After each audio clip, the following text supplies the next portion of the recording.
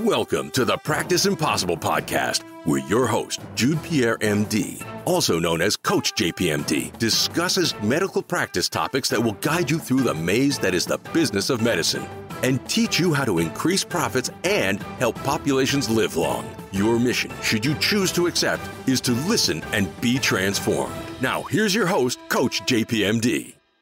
So, thank you for listening to the Practice Impossible podcast this week. And if you guys are paying attention to the length of uh, my episodes, the average length is about 25 minutes, and this episode is under three minutes.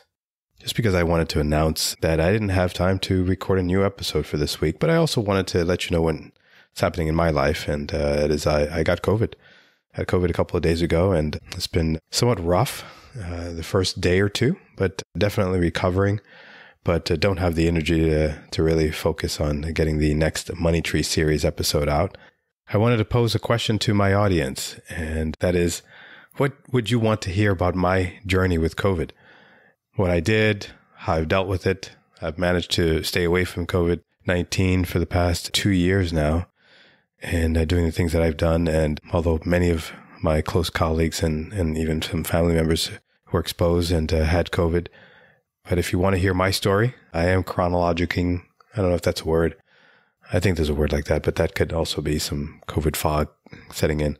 But anyway, if you want to hear my story, what I went through, how I'm still going through this, leave me a message, ask some questions.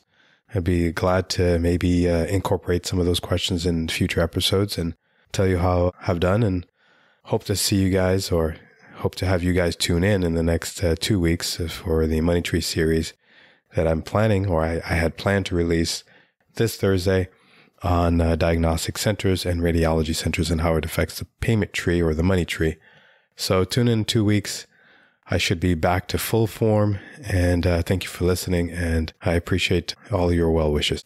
And remember, my mission is to help populations live long by increasing physician awareness of spiritual, mental, and physical health globally and anything I do, anything I involve myself with uh, is towards that end. And uh, if my story with COVID can help someone, uh, what I've done to help myself and help my patients, I am so glad to help spread that word.